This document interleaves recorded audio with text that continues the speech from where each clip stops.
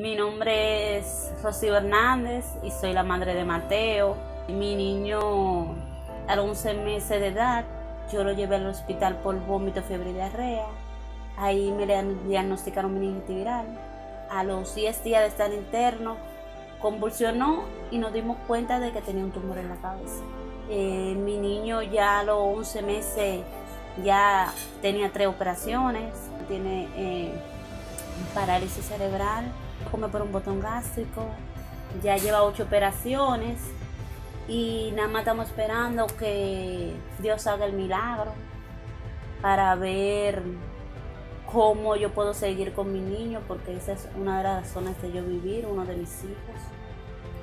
Mi hijo es todo para mí, es la luz de mis ojos, es mi corazón, mi niño, mi muñeco, mi princeso, él es todo para mí. Él es una parte muy importante en mi vida. Yo lo quiero como Dios me lo haya dejado.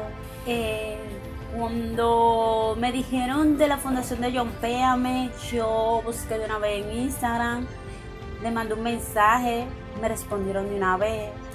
Eh, cuando John Péame me dijeron que ya estaba mi caso todo resuelto, yo le oré mucho a Dios y le dije que muchas gracias, primeramente a él, después a John Péame y después a todas las personas que pusieron un granito de arena para que mi niño tenga todas esas bendiciones que John Péame me trajo a mi casa. Le, le doy, le pido a todas esas personas que me ayudaron, que muchas gracias por ese granito de arena que pusieron para, para la ayuda de mi bebé.